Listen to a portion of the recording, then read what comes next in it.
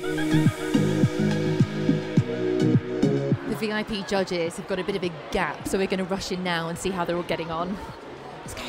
I hope you don't mind me just busting in here. I just like just want to find out how you're all doing. Hi, Andrew. Hello. Um, how many have you seen so far?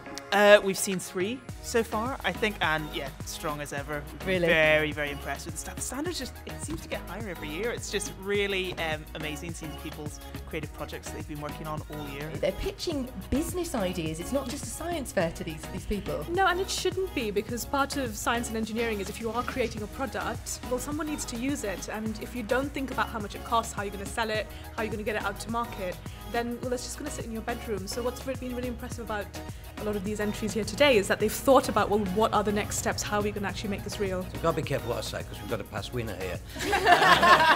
How is it being set on that side of the table? It's a bit like a role reversal. It feels a little bit like I've, um, I don't know, I feel slightly like an imposter at times. I feel like I should be over there, but, um, but it's really nice to be, yeah, to be on um, the receiving end of all these amazing ideas. I wouldn't miss this for the world. I get inspired by these uh, young students coming in with what they do. A lot of them finding time outside of their everyday studies to be able to dedicate time to building prototypes. It's, it shows creativity, it shows a mix of arts, but also an understanding of science. And it's, it's really inspiring just watching them speak up so passionately about their solutions. Uh, I'm just blown away by the whole thing.